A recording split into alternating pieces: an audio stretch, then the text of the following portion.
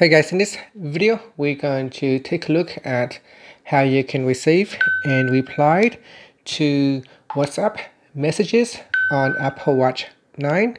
So here uh, on my Apple Watch, if I receive messages, I can reply to it. So before we do anything, let's go to your iPhone and make sure notifications are turned on for your WhatsApp on the Apple Watch. So here I'm going to go into my home screen. On the home screen, tap on settings. Then in the settings page, scroll down and tap on notifications. Now in here, we go down and scroll all the way down and tap on WhatsApp app. So open up the WhatsApp app and at the top here, make sure allow notifications are turned on. Then we scroll down and tap on WhatsApp notification settings. Tap on that. At the top here, make sure show notifications are turned on. Then we go down and tap on in-app notifications.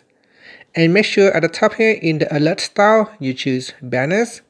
And make sure sounds and vibrate are turned on as well. Once these are turned on, we swipe up to go back to your home screen. Now we go back to your Apple Watch. And when you receive a text uh, message, so here I will send myself a text message when you receive a text message on your Apple Watch. So typically your phone would be uh, switch off. Then the text message will send to your Apple Watch.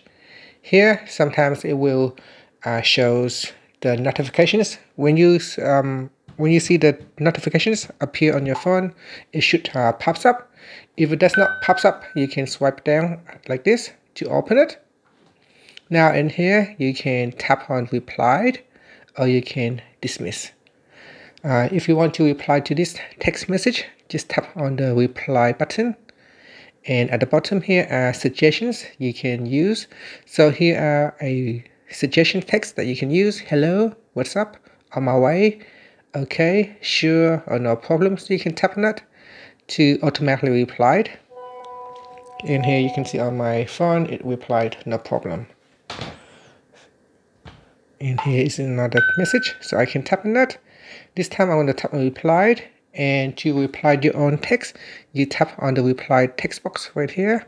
This will bring up the keyboard. On the keyboard you can uh, type in the text message. So here my reply.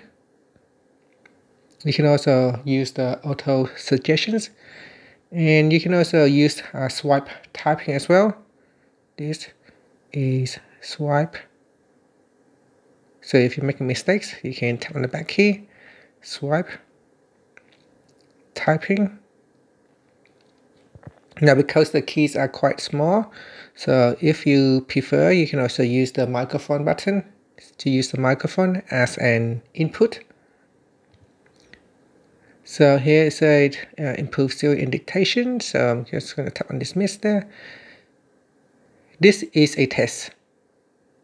This is a test to send a text message to WhatsApp on the Apple Watch.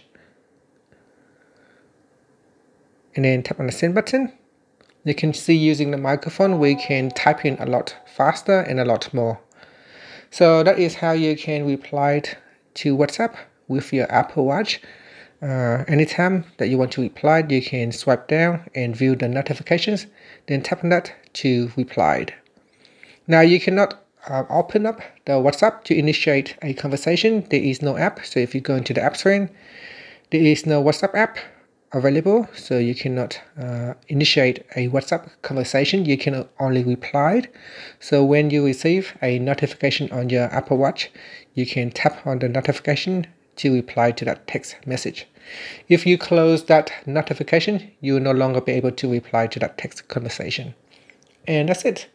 Thank you for watching this video. Please like and subscribe to my channel for more videos.